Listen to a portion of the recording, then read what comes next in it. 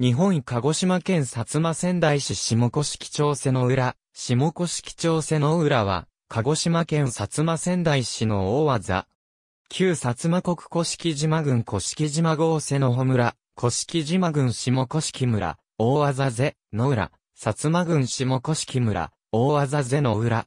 郵便番号は内川内地区が896-14日に、それ以外の地域は896-1512。人口は135人、世帯数は96世帯。古式島列島の下古式島の北西部に位置する。西部の海岸は、ナポレオン岸や松島海岸、鷹の鈴などの祈願や断崖が連なっており、景勝地となっている。薩摩半島の西部に浮かぶ古式島列島南部の下古式島の北西部に位置している。浅井木の東方には、鹿島町伊牟田、下古式町長浜、下古式町青瀬、南方には、下古式町、片野浦がそれぞれ接しており、西部には東、シナ海に面している。瀬、野浦地区と内川内地区の2地区からなる。瀬、野浦地区は、東、シナ海に面しており、周囲を山に囲まれている。昭和後期に、手打ち、長浜方面へ道路が開通するまでは、交通の便が悪く海上交通に頼っていた。瀬、野浦地区には、西山間郵便局が置かれており、かつては西山小学校、西山中学校が置かれていた。内川内地区は、瀬野浦からの移住者によって18世紀初め頃に、お竹連邦の中原を開拓して住み着いた区域であり、内川、内や、内の高地と読まれる。行政上では、瀬野浦とは、独立した区域として扱われる。海抜300メートルから400メートルに位置しており、集落の周囲の工作地も山腹の斜面に広がっていたという。かつては内川内小学校と内川内中学校が設置されていた。下古式町長浜から航空自衛隊下古式島分屯基地を経て、内川内地区に至る道路は自衛隊道路と呼ばれ、内川内地区の重要なライフラインとなっている。海岸線の多くが、祈願や断崖から構成されており、沖には、フランスの皇帝、ナポレオン・ボナパルトの横顔に見えるという高さ127メートルのナポレオン岩や松島、鷹の鈴などがあり、景勝地となっている。また、北部の内川内海岸には、平家の落湯が古式島に漂着した際に、船発送を隠したと言われる発送穴がある。2015年3月16日に、古式島列島の区域を対象とした国定公園として、古式島国定公園が指定された。集落を除いて瀬の浦のほぼ全域が国定公園の区域に含まれており、2015年3月16日の鹿児島県国寺、古式島国定公園区域内における特別地域の指定により一部が特別地域に、古式島国定公園特別地域内における特別保護地区の指定によって一部が特別保護地区、古式島国定公園区域の海域内における海域公園地区の指定によって瀬の浦の海域が下古式島西海岸海域公園地区にそれぞれ指定された。国土地理院地図。国土地理院地図。陸形した浜辺や、海小上の小岩、無名の岩を除く。角川日本地名大辞典によると、下古式町瀬の浦の小技は、以下の通りである。浜里、ふるさと、小里、海伝、上海伝、的場、中平、上の平家、下道、峠、石田、式土井、日陰、上井出、湯穴、夏迫、笛畑、平石、下平石、新山、光明、牛川、西平石、長平、池の平、下、長平、なめ川、大桑木、上大桑木、千田、高道、高田、大林、登立、矢畑、クジラ林、坂の下、松本、江川、前の平、松板、下松板、赤落ち、上の作、母総母様、やゆか、の竹、大内の裏、落とし、の間、木ゆか、金山、金山平、小屋ゆか、木々、前迫、浜平。瀬浦八層穴瀬の穂という地名は、江戸時代より見え、薩摩国古式島郡古式島里のうちの瀬の穂村であった。1471年に、朝鮮で刊行された海東諸国記によれば、生成旧浦は、瀬の浦のことを指しており、記述のうち旧派野の語字とされる。元禄国絵図には、下古式村の一部として、瀬瀬の浦村と記載されている。村高は、旧高級領取調べ帳では161国余り、三州五知西洋欄によれば100国余りであったと記録されている。江戸時代の測量家である、伊能忠敬が表した九州東海編宴会村順によると、矢数が210であり、伊能忠敬測量日記によれば、うちの河内の人家は20件程度あったと記されている。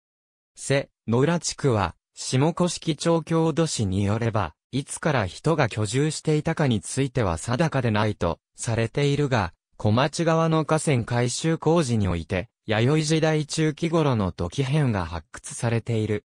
他の古式島の集落の状況から考えると早い時期には人が居住していたのではないかと推測されている。内川内地区は18世紀の初め頃に瀬、野浦からの6個が移住したことに始まり、さらに24個が移住したとされている。江戸時代後期に、薩摩藩が編纂した知史である、三国名称図では、瀬野浦の裏町である瀬浦について、以下のように記述している。下古式村にあり、俗に志浦とも言う、施設ウィントス、海東諸国記に、生成旧浦は、外これや、旧派野の、五奈蘭、この浦は、下古式の西面にして、弾丸絶壁、戦国直立し、木岩尾海石一万体の遺憾なり、海岸より五歩元、海中に中小、中瀬と言えるあり、高さ60軒、周巡る二丁元、孤立してきたかなり、この那覇老急激にして、漁船も風和を得て過ぎくべし、またこの、裏一挙の海所より、海上に超元に、現象高野巣省と言える、相違はありて、海門のごとく相並ぶ、両省ともに高さ50軒、周巡る各一丁元、両省を小距離こと23軒、両省の間、船、上り来たるして、形状特にきなりとか、これ東下古式第一の絶唱なり、三国名称図へ第30巻また、内川内海岸にある発想穴についても、以下の通り記述されている。下古式村内、瀬浦の海岸にあり、岩屋穴西に向こう、その大作漁船発想を白すべし、欧風といえども、少しも、関へなし、よって発想穴という、岩屋中に船を入れて、弦を叩けば、大に響こと雷のごとく、ほら岩を噛む上がるのに似たり、故に、囚人恐怖して、船を白する、ものなしという、三国名称図へ第30巻1889年に、町村制が施行されたのに伴い、下古式島にあった、下古式島にある、手内村、片野浦村、瀬、野浦村、青瀬村、長浜村、伊牟田村の六村が合併し、下古式村が発足。それまでの瀬、野浦村の区域は、下古式村の大技、瀬の浦となった。翌年の1890年2月5日には、下古式村の条例、下古式村区会条例によって、町村制、第64条及び、第114条に基づく区である、第3区が、大あざぜの裏一円を区域として設置された。1999年2月12日に、こういう水面埋め立て地の区域を瀬、野浦あざ、牛川及び塩里に編入した。2004年10月12日に、下古式村が、川内市、東郷町、入木町、祁答院町、日脇町、鹿島村、上古式村、里村と新設合併し、薩摩仙台市が設置された。この市町村合併に伴い設置された、法定合併協議会において、大あざなについては、従前の村名を町名とし、これを、従前の大あざ名冠したものをもって、大あざとすると協定され、旧村名である、下古式村の村を町に置き換え、従前の大あざなである瀬の浦に関することとなった。合併当日の10月12日に、鹿児島県の国字である字の名称の変更が、鹿児島県広報に掲載された。この告示の規定に基づき即日名称の変更が行われ、大技名が、瀬の浦から、薩摩仙台市の大技、下越基町瀬の浦に解消された。薩摩仙台市が指定している文化財は以下の通りである。古式島では、不要の幹の皮を糸にして折った衣服が日本で唯一確認されており、古式島の中でも下古式村の背の裏でのみ確認されている。不要を表すビーと袖、たもと付き長着を表すたなしを組み合わせて、ビーダなしと呼ぶ。軽くて涼しいために重宝がられ、裕福な家が、晴れ着として着用したようである。現存するビーダナシは、下古式の歴史民族資料館に展示されている4着のみであり、いずれも江戸時代か、明治時代に折られたものである。不要で編んだ紐や綱は、南西諸島や九州の島諸部や伊豆諸島などでも見られ、かつては、中国大陸でも古式島同様に不要で衣類を編んだという。生糸、木綿、麻、くずで編んだ布は、古式島の他の集落でも見られるが、背の裏には生糸、木綿、麻、くず、一尾や亀菓子は不要の7種類の材料から作った繊維が存在した。独自の文化が背の裏にのみ存在した背景としては、昭和30年代頃までは、陸路での訪問が難しい孤立集落だったこと、民具や無形文化の伝承に熱心な集落だったことなどが挙げられる。以下の表は、国勢調査による、小地域集計が開始された1995年以降の人口の推移である。背の裏にはかつて、下古村立西山中学校、下古村立内川内中学校、薩摩仙台市立西山小学校、下古村立内川内小学校が設置されていた。2012年に西山小学校が長浜小学校に統合されたことにより背の裏には学校施設がなくなった。背の裏には高等学校が設置されておらず、また、古式島列島内にも全日制高校や通信制高校の学習センターは設置されていない。古式島列島内の高校受験生は、学区の制約なく県内のすべての県立高校へ進学できるため、中学校卒業生の多くは、九州本土などに転出して、当該の高校に進学する。下古式村立西山中学校は、廃止時点で374番地にあり、1947年に、青瀬中学校の教場として設置された。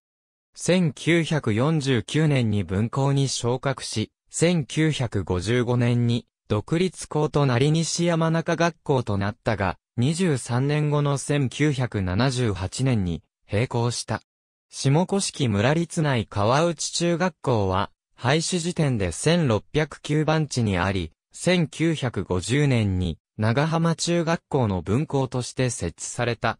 1957年に独立校となりない川内中学校となったが、21年後の1978年に閉校した。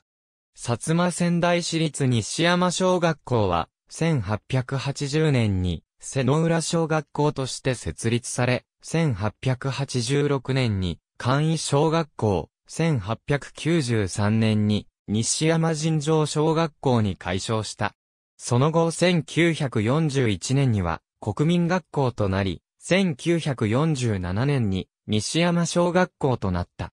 2012年に西山小学校が下古式町長浜にある長浜小学校に統合された。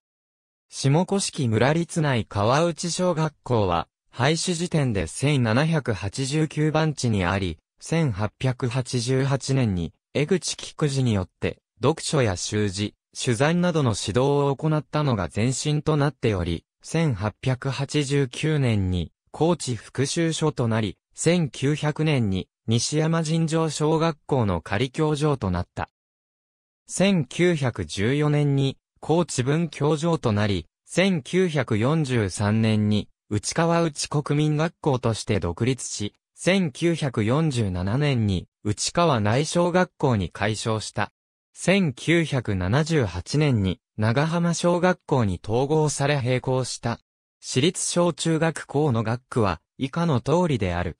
1972年に長浜瀬、野浦、手打ちから瀬野浦の道路が開通した。これにより瀬野浦と道内の道路が接続され、自動車での往来が可能となった。道路の開通前は、青瀬まで1時間半、手打ちまで3時間程度かけて、山越え道を徒歩で移動していた。長浜港から瀬野浦までを結ぶコミュニティバスである、古式化の小百合バスが運行されている。2020年現在瀬野浦の区域にあるバス停は、以下の通りである。ありがとうございます。